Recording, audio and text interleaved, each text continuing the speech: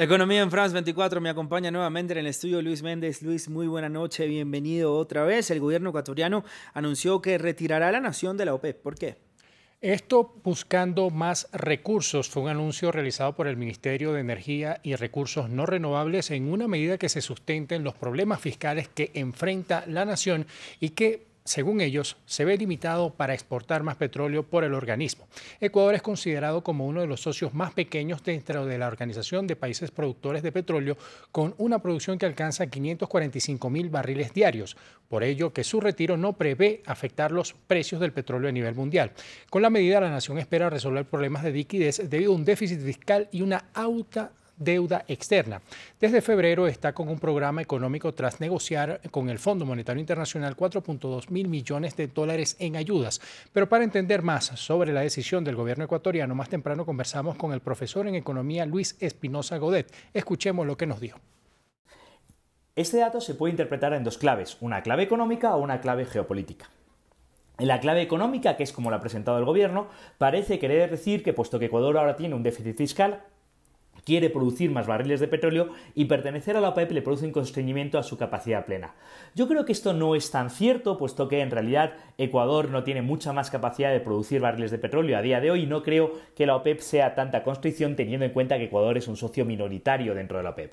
Yo más bien creo que esta hay que interpretarlo en clave geopolítica, es decir, eh, la OPEP, la Organización de Países Exportadores de Petróleo, es un club donde no pertenece ninguna democracia plena, según el índice de Democracy Index de The Economist, y las que pertenecen suelen ser dictaduras bastante execrables.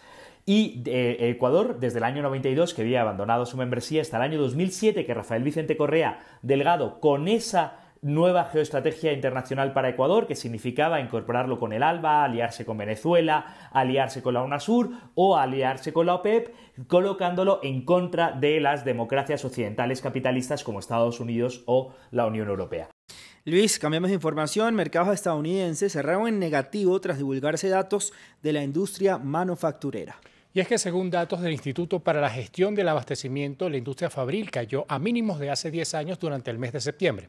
De acuerdo con el estudio, la caída fue de hasta un 47,8% en el mes, un dato menor al alcanzado en agosto cuando la producción manufacturera se situó en 49,1%. Hay que aclarar que un índice bajo los 50% indica que hay contracción en esa economía.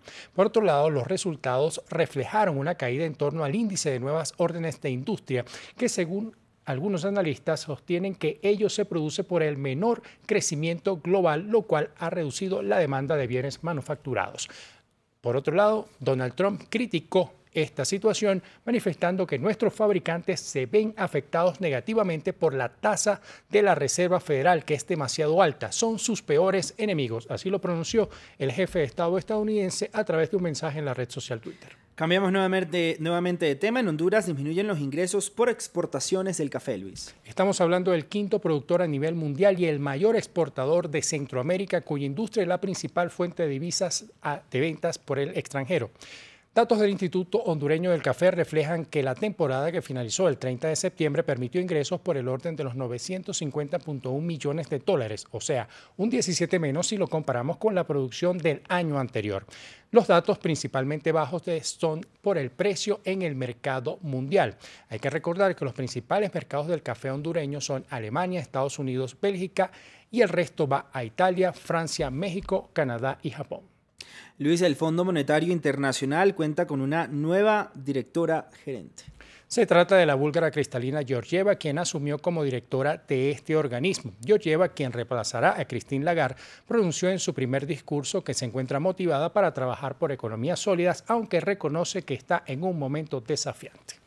Indicadores, Luis. Cerraron de manera negativa en Estados Unidos por esta situación que se presentó con las industrias manufactureras. Por otro lado, en Europa también se presentaron tanto datos de la industria manufacturera como también datos del IPC a futuro, que también fueron negativos. El mercado japonés cerró con números positivos, al tiempo que América Latina tuvo cierres mixtos durante la jornada. Destaca la caída del mercado peruano por la situación política que se vive en esa nación. Difícil y confusa situación política peruana. Luis, gracias, buenas noches. Ustedes también, gracias. Continúen con nosotros.